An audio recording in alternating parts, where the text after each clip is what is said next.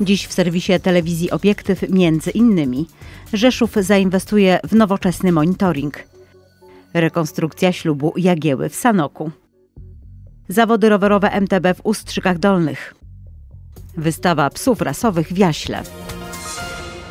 Rzeszów najbezpieczniejszym miastem w Polsce. Ten fakt potwierdziły ogólnopolskie badania przeprowadzone jeszcze w zeszłym roku. Miasto chce jednak zwiększyć poczucie bezpieczeństwa swoich obywateli poprzez nowy, inteligentny system kamer. Od połowy roku będziemy intensyfikować pracę, by e, wprowadzić system inteligentnego monitoringu, który będzie e, wskazywał operatorom e, sytuacje potencjalnie niebezpieczne albo sytuacje, które oni mogą czasem nie zauważyć w tym natłoku kamer, a które mogą powodować pewne problemy. W związku z tym usprawni to pracę służb, które reagują na zdarzenia. Do inteligentnego programowania musi być troszeczkę zmodyfikowany system kamer. One muszą być o takie moduły, które pozwalają automatycznie na miejscu analizować obraz i sugerować oprogramowaniu sytuacje potencjalnie niebezpieczne no, muszą być do tego dostosowane. Dlatego, tak jak mówię, i kamery będą wzmacniane dodatkowymi urządzeniami i równocześnie oprogramowanie w centrum monitoringu, które będzie tą sztuczną, inteligencją zarządzać. System monitoringu miasta miałby być zintegrowany z realizowanym przez magistrat projektem dotyczącym idei Smart City w mieście. Wymiana kamer i zakup oprogramowania mają wesprzeć aktualny system monitoringu i poprawić efektywność pracy służb mundurowych. Chcielibyśmy nadal rozwinąć nasz zintegrowany system monitoringu miasta. E, przypominam, że on gromadzi wszystkie możliwe kamery, które są e, w zarządzaniu służb miejskich. Są one e, spięte w jeden spójny system, no i są problemy, ponieważ tych kamer już jest kilkaset a centra monitoringu mają pojemność, jaką mają i w związku z tym też nie może tam zbyt duża ilość policjantów innych obsługujących e, poświęcać za wiele czasu. Staramy się tutaj maksymalnie uprościć, e, ułatwić pracę służbom policji tak aby nie zajmowali się kwestiami wyszukiwania e, powiedzmy miejsc potencjalnie niebezpiecznych czy, czy sprawców, tylko już reagowali na te zdarzenia, które system będzie automatycznie podpowiadał. Poprawa systemu monitoringu ma być finansowana ze środków pozyskanych z programu współpracy transgranicznej Polska-Białoruś-Ukraina, realizowanym wspólnie z ukraińskim miastem Iwano-Frankowsk, będącym liderem projektu. Całość inwestycji szacowana jest na kilkaset tysięcy złotych. Uzyskane dofinansowanie ma pokryć 85% kosztów kwalifikowanych. W Sanoku odbyła się rekonstrukcja ślubu króla Władysława Jagieły z Elżbietą Granowską. Do zaślubin doszło w 1417 roku, dokładnie 600 lat temu. Oboje mieli już za sobą inne związki małżeńskie. Jagieło dwa, zaś Granowska trzy. Wydarzenie zrekonstruowano po raz kolejny, dokładnie według przekazu kronikarza Jana Długosza. Władysławie, pytam Ciebie Bożą mocą, Panny Maryi mocą, wszystkich świętych mocą, Czyżeś tu dlatego przyszedł na to miejsce święte, by przyjąć święty stan małżeński? Tak. Pytam Ciebie, czyżeś Ty nie ślubował żadnej inszej, jeno Elżbiecie wedle Ciebie stojącej? Tak. Pytam Ciebie Bożą mocą, Panny Maryi mocą, wszystkich świętych mocą, czy Tobie Elżbieta wedle Ciebie stojąca miła? Rozpoczynaliśmy dzisiejszą uroczystość na e, Placu Świętego Michała, w miejscu e, kościoła Świętego Michała, którym pierwotnie 600 e, lat temu Władysław Jagiełło brał ślub. Po ceremonii zaślubin Orszak Królewski przez Sanocki Rynek przeszedł tutaj na dziedziniec Sanockiego Zamku, na którym się znajdujemy, gdzie rycerze potykają się w walkach o zwycięstwo i pokłon królewskiej parze. Do dzisiaj możemy na Placu Świętego Michała podziwiać zarysy kościoła Świętego Michała, którym Władysław Jakieło y, z Elżbietą Granowską brali ślub i to jest też taka, taki smaczek historyczny, pokazanie tego historycznego Sanoka, którego historia jest naprawdę piękna i bardzo bogata. Rekonstrukcja tych wydarzeń historycznych ściągnęła na plac Świętego Michała do królewskiego miasta wielu jego mieszkańców i turystów, a także grupy rekonstrukcyjne z całej Polski. Ludzie przyszli, dużo dzieci, dużo młodzieży, e, z zainteresowaniem obserwują, co tutaj się dzieje. Myślę, że coś trywialnie mówiąc, łykną tej historii, e, mają możliwość zapytać, dotknąć, nawet sfotografować się z rycerzami, z puszkarzem królewskim. Także widzę sens takich działań. Zobaczyć na żywo, przeżyć, tak jakby inscenizację na żywo, to jest najlepsza lekcja dla niego. Lepiej niż czytana. Mi się najbardziej podobało to, co jak ten jeden rycerz wziął ogniem.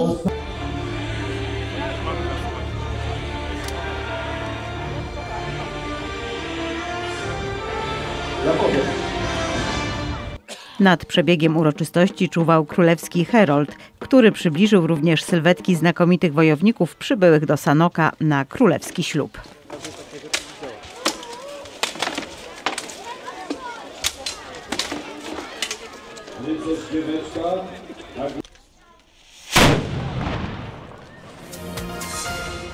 W Ustrzykach Dolnych odbyły się po raz pierwszy zawody rowerowe MTB, w których wystartowało ponad 100 zawodników.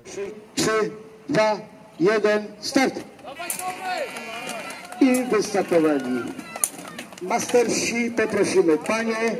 Kategorie są praktycznie od jednego roku życia do 100 lat, czyli dzieci, dzieciatki były 5-letnie, 6, 10, 12, 14 i mówię i wzwyż.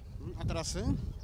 Trasy, małe trasy tutaj na miejscu koło pump pętelki dla małych dzieci i duża pętla 3800 metrów w kierunku szczytu Laworta. W Ustrzykach Dolnych powstał profesjonalny tor pump z którego można korzystać na co dzień. Każdy może wybrać to, co chce, bo bardziej wymagający rowerzyści mogą ścigać się na trasach downhillowych, freeridowych na stoku Laworty. Tam polecamy zwłaszcza w sezonie letnim, kiedy to chodzi wyciąg krzesełkowy i można wyjechać na górę krzesełkiem, a zjechać rowerem. Ale także tutaj zapraszamy na tor typu pump track, gdzie można bez używania pedałów przejechać cały tor tylko siłą, siłą mięśni nóg, ale także przygotowujemy po trasach chociażby takich ulicznych uszczykach, jak też trasach górskich, te zawody, które odbywają się obecnie, więc każdy naprawdę znajdzie coś dla siebie. Kolejne zawody rowerowe w Ustrzykach Dolnych odbędą się na wakacjach. W Jaśle po raz kolejny odbyła się wystawa psów rasowych. Według organizatorów jest to jedna z największych wystaw w Polsce ze względu na liczbę zgłoszonych czworonogów. W tym roku było to kilkaset psów różnych ras. Wystawy psów w Polsce które odbywają się pod patronatem FCI, czyli największej, e, nie powiem jedynej, ale największej organizacji kinologicznej międzynarodowej, zbierają tylko i wyłącznie psy rasowe, czyli psy, które mają rodowód tej organizacji.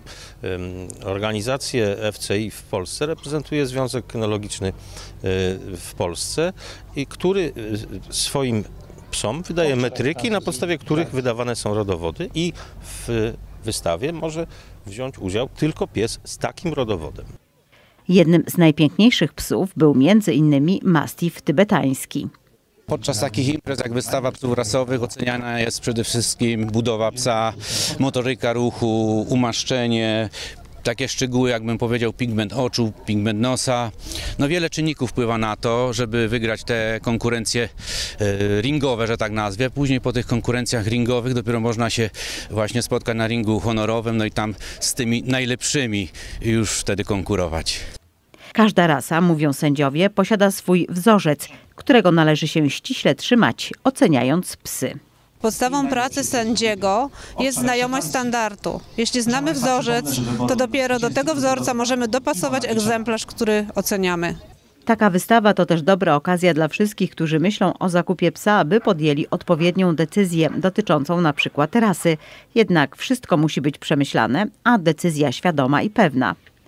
To jest jednak wybór na lata. To, to, to jak ktoś myśli inaczej, że od, y, zrobi prezent na pod choinkę, no jest to po prostu no coś, coś, coś strasznego. I dla psa, i dla, y, i dla człowieka, zwłaszcza dla dziecka obdarowanego. W związku z tym trzeba do tego podejść y, poważnie i świadomie, czyli albo na wystawie y, odwiedzić właściciela i hodowcę tej rasy, dowiedzieć się więcej o nim. Nie kierujmy się tylko i wyglądem, tylko i wyłącznie wyglądem psa, bo wygląd czasami bardzo myli, jak wygląda jego charakter a potem, mając kontakt z hodowcą, może się zainteresować, czy to przez internet i tak dalej. I przede wszystkim, proszę Państwa, radzę, proszę kupować psy rodowodowe, czyli z rodowodem. Wystawa psów rasowych w Jaśle odbyła się już po raz trzeci. Jak widać chętnie do nas przyjeżdżają wystawcy. Zainteresowanie wśród mieszkańców także jest, więc myślę, że to dobry pomysł na zagospodarowanie czasu. Organizatorem wystawy był Związek Kynologiczny w Polsce Oddział w Krośnie oraz Miasto Jasło. W Sanoku rozpoczęła się budowa centrum sportowo-rehabilitacyjnego. Kryte i odkryte baseny, sale odnowy biologicznej, place zabaw dla dzieci oraz plenerowa siłownia powstaną w miejscu starych obiektów. To jedna z 38 takich inwestycji w kraju, które mogą liczyć na rządowe dofinansowanie nawet połowy kosztów.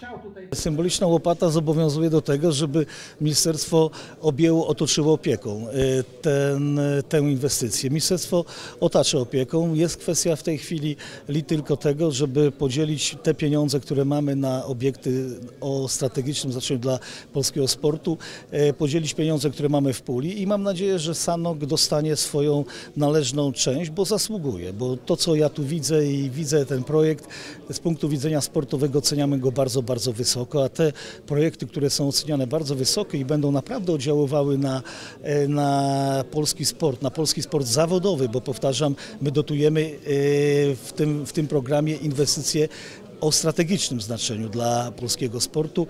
Ostateczna wysokość dofinansowania będzie znana w połowie czerwca. Jeśli miasto dostanie od Ministerstwa Sportu około 20 milionów złotych, to będzie musiało znaleźć drugie tyle na dokończenie budowy.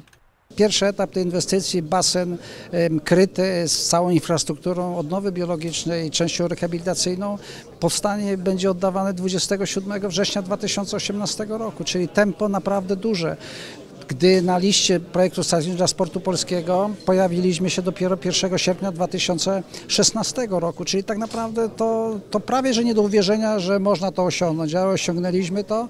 W tym momencie już ta inwestycja od dnia dzisiejszego będzie wychodziła z ziemi, będzie widoczna dla mieszkańców, będą na to patrzeć i, i ja się bardzo cieszę, bo po pierwsze rzeczywiście jest tutaj wsparcie związków sportowych, sześciu związków sportowych, sportowe, którzy tak naprawdę chcą tutaj, żeby sportowcy przyjeżdżali na centralne zgrupowania, aby podnosili swoje umiejętności.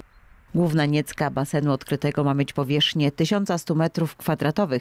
Będą też boiska do siatkówki plażowej i korty. Obiekt pomieści nawet 2000 osób powstanie piękne, duże, funkcjonalne centrum rehabilitacyjno-sportowe, w którym będą się przygotowywać do najważniejszych dla siebie zawodów najlepsi polscy sportowcy i dzięki temu Sanok zyskuje markę na mapie polskiego sportu, czy miejsce na mapie polskiego sportu, czy szeroko rozumianej e, kultury fizycznej, jako miejsce istotne, ważne e, już nie tylko dla Podkarpacia, ale też dla e, całej Polski. Ja osobiście się bardzo z tego cieszę, ponieważ w cudzysłowie chodziłem za tą inwestycją przez ostatnie miesiące, wielokrotnie spotykałem się w Ministerstwie Sportu z ministrem, wiceministrem e, w tej sprawie i e, udało nam się uzyskać naprawdę poważne e, dofinansowanie tej budowy. Ufamy, że Sanok zyska na popularności, to po pierwsze, ale po wtóre, wszyscy, którzy będą tutaj przyjeżdżać, zorganizowani w różne związki sportowe, a wiemy, że będzie to baza dla przynajmniej kilku z nich,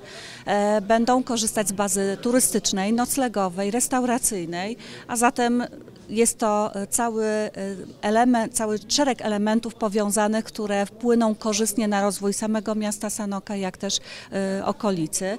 Obiekt będzie kosztował 39 milionów złotych, a wybuduje go firma Karpat Wód. Centrum Rehabilitacji Sportu ma być oddane do użytku w styczniu 2019 roku. Rozbudowę systemu sterowania ruchem planuje rzeszowski magistrat. Zakres prac w ogłoszonym przez miasto przetargu obejmuje m.in. rozbudowę systemu dynamicznej informacji dla kierowców z pomiarem czasu przejazdu, rozbudowę sterowników sygnalizacji świetlnej, rozbudowę podsystemu priorytetu dla autobusów oraz zwiększenie funkcjonalności centrum systemu obszarowego sterowania ruchem. System y podobnie jak miasto rozwija się, rozszerza się. Kolejne nowe skrzyżowania z sygnalizacją świetną, które powstają, są włączane e, w ten system. E, pojawią się nowe mm, tablice z informacją pasażerską, pojawiają się nowe przystanki, pojawiają się nowe dzielnice, pojawiają się nowe bloki. W związku z tym ten system także ewoluuje. Cena rozbudowy systemu szacowana jest na prawie 30 milionów złotych. Dzięki możliwościom perspektywy finansowej 2014-2020 są także przymiarki do zakupu autobusów przegubowych. Zanotowaliśmy ostatnio 10% wzrost i musimy teraz dostosować rodzaj pojazdów do ilości pasażerów, która stale rośnie. Stąd konieczność zakupu mm, ponad 20 autobusów przegubowych. Mm, które to autobusy powinny być zakupione jeszcze do końca tego roku. No i dalsza wymiana taboru, która jest przewidziana, głównie na tabor elektryczny, która jest przewidziana w ramach tego rozbudowy tego projektu transportowego. System zbudowany jest w sposób modułowy. Dzięki możliwości rozszerzenia jego zakresu działania dokładane są kolejne elementy zapewniające lepsze zarządzanie miejskim ruchem. Remont rzeszowskich basenów nabiera rozpędu. Zgodnie z harmonogramem wiosną 2018 roku zakończone mają zostać prace modernizacyjne, poprawiające warunki i komfort korzystania z miejskiej pływalni odkrytej. Trwają roboty budowlane przy Niecce, tutaj za moimi plecami to jest Niecka basenu wyczynowego, będzie basen 50-metrowy, tam dalej jest basen wyczynowy, w tej chwili trwa montaż ścian bocznych, y, dwa brodziki dla dzieci i wodny plac zabaw. Niecki wykonane będą ze stali nierdzewnej.